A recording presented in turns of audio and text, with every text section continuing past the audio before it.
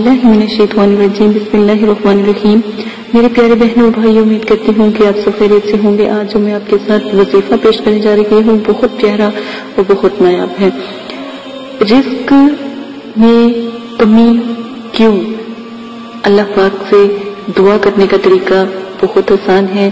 ایک بات یاد رکھیں کہ ایک چھوٹی سے لفظوں میں ایک بہت پیاری بات آج جب میں آپ کو سمجھاتی ہوں کہ جب انسان بچہ ہوتا ہے اور جب اس نے اپنی ماں سے کوئی بات منوانی ہوتی ہے تو وہ کتنے کرتا ہے، روتا ہے اور بلکتا ہے۔ ماں نہ مانے اور زیادہ چیخ چیخ کے روتا ہے اور ہار کے پھر والدین جو ان سے ہیں، اس کو وہ چیز لے دیتے ہیں، وہ کھلونا لے دیتے ہیں۔ وہ جو بھی چیز مانگتا ہے، وہ اس کو لے کر دیتے ہیں۔ لیکن یہی سوچیں کہ ہمارا رب یعنی اللہ پاک کی ذات، ہم سے ستر ماؤں سے زیادہ پیار کرتی ہے، ستر مائیں ہماری ہوں۔ اور ہر ماں ایک سے بڑھ کر ایک پیار کرتی ہو۔ تو میں تو کہتی ہوں کہ میں، اگر میری ستر مائیں ہوں تو دنیا میں مجھ سے زیادہ کوئی خوش قسمت نہیں ہوگا۔ اگر آپ کی بھی ستر مائیں ہوں تو آپ سے زیادہ دنیا میں کوئی خوش قسمت ہے ہی نہیں۔ یہی بات ہے نا۔ اور رہی بات اللہ سے پیار اور جنت کی، وہ تو واجب ہی واجب ہے۔ پھر تو آپ کو جیسے کسی چیز کی دولت کی بھی ضرورت نہیں۔ انسان اتنے زیادہ بکھیرے کیوں کرتا ہے نا؟ اپنے مالوں کو کیوں سوارتا ہے؟ نماز قرآن پر کیوں کرتا ہے؟ صرف اللہ کی نظروں میں پیارا بننے کے لیے نا؟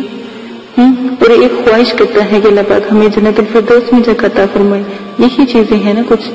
لیکن سوچیں، جب ہم اپنے جو رب ہم سے ستر ماؤں سے زیادہ پیار کرتا ہے، تو اگر ہم تھوڑا سا اس کو روک کر، ذرا سا روک کر اس ماں کی طرح نہیں جنہوں نے ہمیں پیدا کیا اور ان سے ہم رو رو کے بلک بلک کے اپنی چیزیں منواتے ہیں، اس طرح نہیں، صرف ہلکا سا رو کر، ایک قطرہ آنسو کا گرا کر، سجدے میں جا کے نماز کا طریقہ اختیار کر کے، رات کو تنہائی میں دو منٹ رو کے، تو اپنے رب کو ملا میں کہتی ہوں، کیسے دینے والی تو رب کی ذات ہے نا؟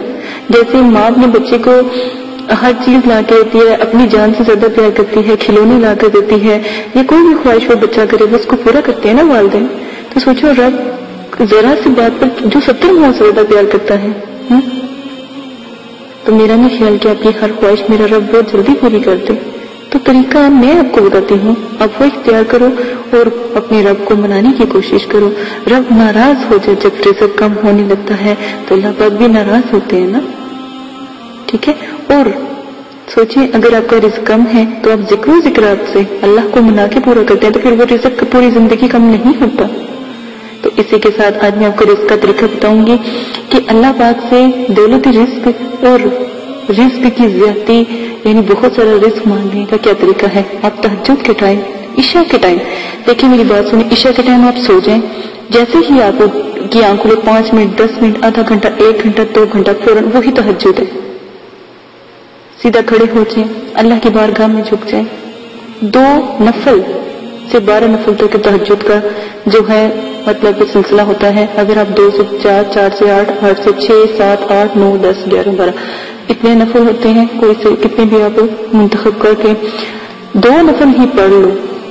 تحجد کے، آپ کے تحجد اللہ کو قبول و منظور کرتے ہیں۔ زیادہ پیار ہے تو چار پڑھو، اس سے زیادہ پیار ہے تو چھ پڑھو۔ اس سے زیادہ پیار ہے تو آٹھ پڑھ لو، اس سے زیادہ پیار ہے تو دس پڑھ لو۔ اور حد زیادہ پیار ہے تو شاید میرا نہیں خیال سے کوئی لمحہ کوئی کمی ہونی چاہیے، پوری میرے خیال رات ہی پوری اپنی رب کی یاد میں گزارتے جو بہت زیادہ پیار کرتے ہو، ٹھیک ہے؟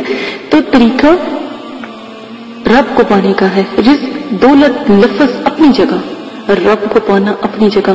جب آپ مخلی سے، دل سے اپنے رب سے کوئی چیز مانگتے پھر عطا ہوتی ہے۔ چالیس شب تک میرا یہ عمل کر کے دیکھیں، یا اکیس شب تک۔ دو آپ کے پاس ہیں، صغیرہ اور کبیرہ زکات یہ کریں انشاءاللہ، الحمدللہ، پڑھنا کیا ہے؟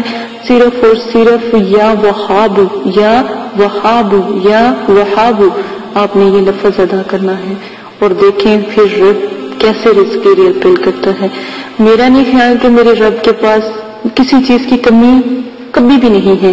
انسان کے پاس صرف دو بولوں کی کمی ہے۔ وہ اپنی ادا کرو۔ میں کہتی ہوں، دل میں بغض ہی رکھ لو، جھوٹ ہی بول کے کر لو، تو کرو تو صحیح، اپنے رب کو مناؤ تو صحیح، کوشش تو کر کے دیکھو، اللہ کے بندوں کو کوشش کرو۔ انشاءاللہ رب ضرور مان جائیں گے، دو رکت نماز ادا نہیں ہوگی، آپ کی حاجات پوری ہونے لگ جائے گی۔ آزما کے دیکھیں، سچے دل سے توبہ کر کے، سچے دل سے اپنے رب کے لیے، رب سے رزق کی فریاد کرے فرمائش کرے جو ستر ماؤں سے زیادہ یقین مانے ضرور کامیاب ہوگی جیسے دیجیے گا اپنا خیال رکھیے گا۔ میرے چینل کو سبسکرائب ضرور کر لیا کریں تاکہ اچھی اچھی باتیں آپ کو پتہ لگیں وظائف پتہ لگیں۔ میری پوری کوشش ہوتی ہے کہ اپنے بہن بھائیوں کو ایسی ایسی باتیں بتائی جائیں جو واقعی ان کے لیے بہتر ہیں، ان کو اسلام کا رستہ دکھاتی ہیں۔ اجازت دیں، اپنا خیال رکھیے گا۔ اللہ حافظ۔